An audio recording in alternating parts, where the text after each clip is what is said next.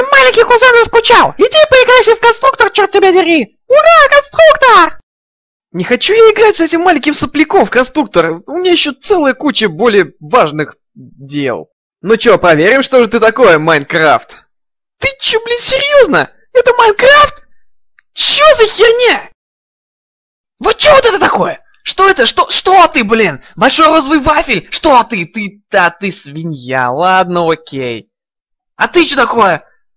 А, ты, наверное, курица, потому что я сначала подумал, что ты утка. А ты, ты, ты, ты корова, ладно, пофиг. Но, ну чё вот это за херня?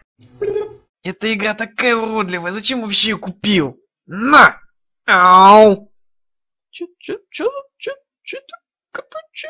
20 минут спустя. Оу oh, yeah, я поставил себе шикарный домишко. И знаете что? Все не так уж плохо.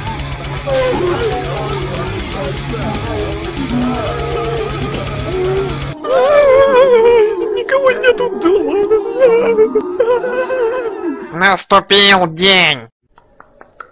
Отлично, нашел себе немного угля. Угу. Обосраться, да я надыбал немного железа. Оу, oh, yeah, я нашел... А, черт, это опять золото. Это успех! Привет, дружок. А что это у тебя тут такое? Десять минут спустя. Я так рада, что ты наконец согласился поиграть со своим кузеном!